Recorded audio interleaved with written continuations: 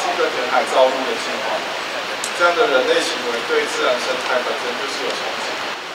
更何况在之前，呃，就有出现过海洋土的重金属，还有地下水的砷含量，都因为这样填海造陆的行为，前后数据有着显著的改变。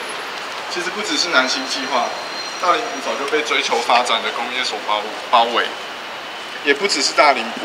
呃，高雄还有大社、林园、后进这些承受污染的地方。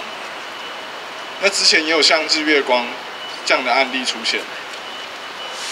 在这些发展的背后，就一定得让环境负担吗？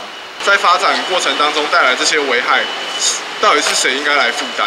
是不是应该是制造那些污染者应该去呃外部成本内部化，吧这些污染试图做解决，试图做回复原状。我我们站在市政府前面哈，我们要问一下哈，南新计划是怎么样形成的哈？在过去党国不分哈威权时代，那个时候哦，把这些工业污染的废弃物哦，这些不要的煤煤灰堆放在这边，当时的计划的目的到底是什么？哦，二零零九年，我们的行前行政院长吴敦义先生。他当时就回过头来看看，在这个莫拉克风灾之后，好像这一些已经土石流的这些大型的哦这些沙石，好像又可以把这些沙石堆放到这些哦我们在长期以来几十年忍受了工业污染的大林埔地区。所以我在这里要请各位来关注这个地这个地方哈，最主要这个地方长期以来。并没有被关注到他们居住正义，还有他们程序正义的问题。特别是我们看到最近几年包裹起来跟南新计划的几个计划，哦，包括了国道七号，哦，包括了这些自贸区，还包括了这个游艇专区，这些都高度争议性的，引起了沿海空气工业污染再次的发生的可能性的计划。所以我们要追追问我们高雄市政府。你的产业政策是什么？就今仔日，这个南星计划是一个足重大、足重大错误的计划。过去的南星计划是南星无计划，但是今仔日吼，事实，今日这些大南部遐南星计划，长期以来大林埔以及凤尾头遐居民有差不多将将近两万人，是是比这个城市吼，伫这遗忘的地方啊。会使讲一个无人来，伊来等在遐啦。哦，大喇埔后面头遐，迄个所在是有人徛的。迄个所在是过去是阮不老十年、不老百年的，是永远的呢。会使讲是阮的老母呢，阮的根呢。啊，迄个所在今仔日风吹散家呢，决定无徛出来嘛袂使啦。哦，无徛出来嘛袂使。啊，今仔日讲遐是阮的心肝宝贝，没有人。在居住在这个地方，一直在几十年来，为这个国民党政府民国六十二年，为着台湾的经济发展，推动时代建设建联这个所在，一笔地共征收三百五十块，甲付量甲将是已经将近要四十年。遐百姓是安怎过日子来？我这张图我刻这张图，就是讲未来大拉坡的外海，搁要填填了九四诶七百四十九公顷的大蓝星计划。这种的计划要搁开始推动，我请问咱高雄市政府吼，拜托者，底下人小可想一下，卖甲吞了，吞了真正拢是天地的土吗？真正拢是一般的建建筑废弃物吗？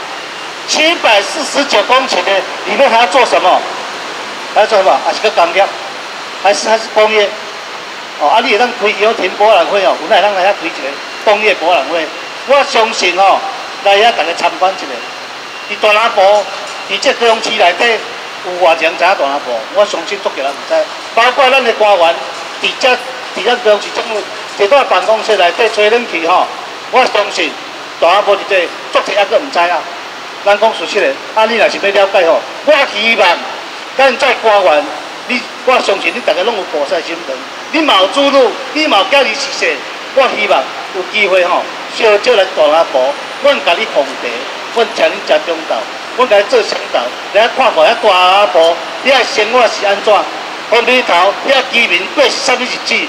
咱去计划分啥物物件？安尼好，以上谢谢。从环境负荷的这个角度来看呢，这个地区早就已经是污染的重灾区。在这边发发现过这个炉炼钢的炉石，好，发现过这个掩埋场的灰飞，好，灰渣这些问题，然后针筒这个地方其实已经过度承载了我们长期以来的高雄的工业污染的问题。这个地方在中油、台电、哈中钢这些这些公司来的时候，已经对这个海岸环境跟居民环境做了第一次的剥夺。那么现在我们把不要的所有有毒的东西丢到这片海岸，是对这个地方的第二次剥夺。现在在这片被废弃物堆积起来的地方，我们竟然要在大肆开发的工业，各种工业的呃工业区，包括两个自贸区跟两个这个游艇产业园区，我们要问这一个地方真的还可以？接受这样子的工业污染吗？这边的环境真的还可以忍受这么多、这么多个环境工业污染的破坏吗？那么第二点就是说，我们常常讲，我们只有盲目的开发，我们却不敢不不去看顾到它所有的环境跟健康后果。当我们不去看顾它的时候的结果是什么？所有的环境成本、环境的负债跟健康的负债，最后都回到整个社会里面。那么现在大林埔乃至小港的居民都已经在承受过高的致癌风险。之前游艇产业园区的这个呃环评的专业专案小组，其实已经有些资料说，哎，这个。小这个地区的这个致癌风险其实已经高了高于十的六负六次方，这个是 WTO 以及我们现在环评里面的健康风险的规范里面认为的不可接受的一个标准，也就是十万个人里面就会有一个人致癌，这个是一件不能接受的事情。所以我说，从呃环境跟社会正义的角度，我们不应该把更多的肮脏的东西丢到这个地方。侵害这个地区的居民以及这个环境。那么第三点是什么呢？我要强调的是什么？今天高雄比台湾任何一个城市都不应该走回头路。那是什么回头路？高雄过去以来，我们承载了全台湾的重工业。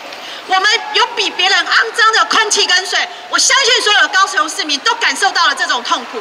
那么我们今天为什么我们还要在这样子的基础上继续去发展这样这些工业污染？我们要把钱所有有限的经费花在做这个城城市转型，打造一个真正属于我们大家的宜居城市，而不是只是有钱人以及高雄某些少数地区的宜居城市。所以最后一点，那么我要讲的是什么呢？我们这一个，我刚才讲的，我们要保障所有市民应该有的健康权、环境人权，我们不应该再继续用剥削环境的方式去换取那些微薄的利润，而且这个利润还没有公平的分配到大家身上。再来，我们所谓的两公约，哈，台湾已经国内法国内法化了，我们两公约里面还保障了一个什么环境的。程序人权哦，程序的环境人权，那是什么意思？